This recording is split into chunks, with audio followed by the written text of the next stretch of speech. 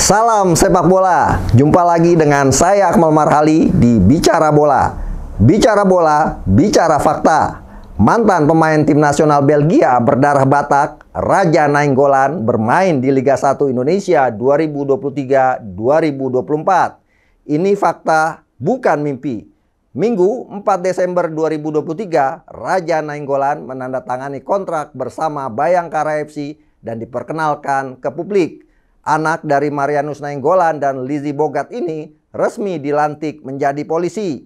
Maharnya 5 miliar rupiah untuk setengah musim. Nilai yang cukup mahal, mengingat Liga 1 tinggal menyisakan 12 pertandingan.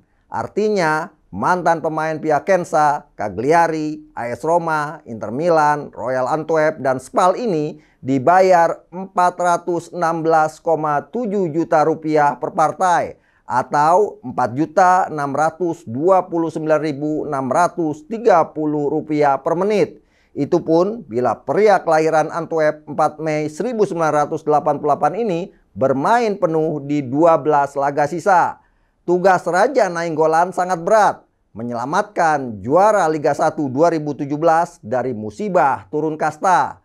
Saat ini Bayangkara FC berada di posisi juru kunci dari 12 laga baru mengumpulkan 12 poin, hasil satu kali menang, 9 kali imbang, dan 12 kali tumbang. Hasil seri 1-1 saat melawan juara Liga 1 musim lalu PSM Makassar di Stadion Gelora BJ Habibie Parpare memperpanjang rekor tak pernah menang dalam 15 laga beruntun. Satu-satunya kemenangan The Guardian diraih pada pekan ke-6 saat tandang ke markas Persita Tangerang di Stadion Indomil Arena 3 Agustus 2023 dengan skor 1-0 lewat gol Matias Meyer pada menit ke-35. Harusnya Raja Nainggolan sudah melakoni debut melawan PSM. Ia sudah bergabung dan berlatih bersama tim arahan pelatih Roberto Carlos Mario Gomez di Makassar. Tapi tiba-tiba balik ke Jakarta. Alasannya masih jet lag, kelelahan, dan mengalami cedera betis. Di usia 35 tahun, kaki dari suami Claudia Lai ini sudah renta dan rentan cedera. Apalagi Raja Nainggolan sudah enam bulan tidak berkompetisi alias menganggur.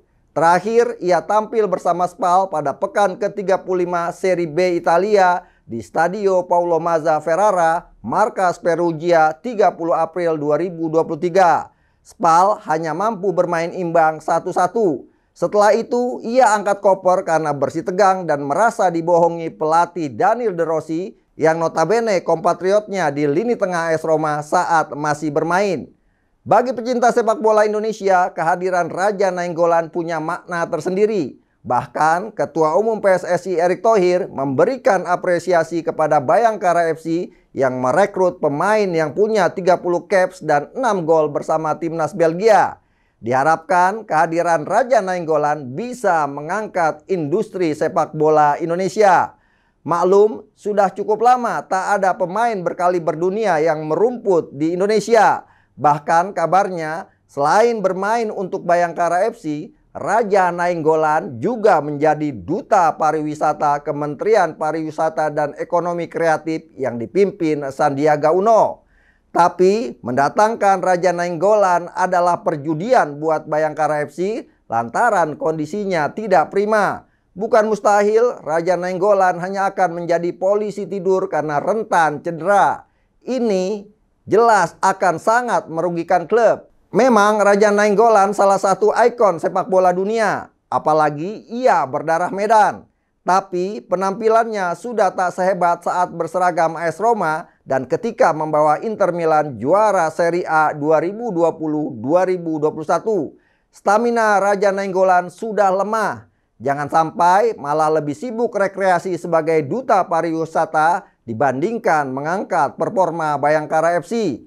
Kehadiran Raja Nainggolan mengingatkan kita kepada hadirnya bintang-bintang dunia tua macam Roger Milla dan Mario Kempes di era baru Liga Indonesia yang merupakan perkawinan antara Perserikatan dan Galatama di awal tahun 1990-an atau saat diberlakukan marquee player di Liga 1 2017. Saat itu ada Charlton Cole dan Michael Essien di Persib, Muhammad Sisoko di Mitra Kukar, Peter Odemingi di Madura United, dan Didir Zokora bersama Semen Padang. Semuanya tak mampu mengangkat prestasi timnya. Yang terjadi malah hanya menguras keuangan klub. Charlton Cole dan Didir Zokora bahkan sudah angkat koper sebelum kompetisi usai. Nah, akankah Raja Nanggolan yang sempat diminati Chelsea dan Manchester United ini akan mengikuti jejak bintang-bintang dunia terdahulu yang bermain di kompetisi sepak bola Indonesia? Pertanyaan paling krusial adalah, mampukah Raja Nainggolan menyelamatkan Bayangkara FC dari ancaman degradasi? Fakta membuktikan pemain yang masuk daftar Serie A Team of the Year selama 4 musim beruntun dari 2014 sampai 2018 dan peraih penghargaan AS Roma Player of the Season 2016-2017 ini tak mampu menyelamatkan Spal untuk eksis di Serie B. Di akhir musim, Spal turun kasta ke Serie C lantaran menempati posisi ke-19 dari 20 tim yang berkompetisi. Akankah nasib Bayangkara FC seperti Spal?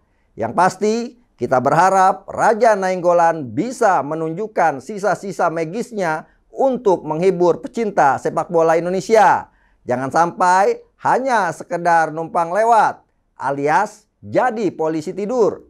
Ayo Il Ninja, selamatkan Bayangkara FC dari mimpi buruk turun kasta ke Liga 2. Hibur kami dengan keahlianmu mengolah si kulit bundar dan transfer ilmumu ke pesepak bola Indonesia.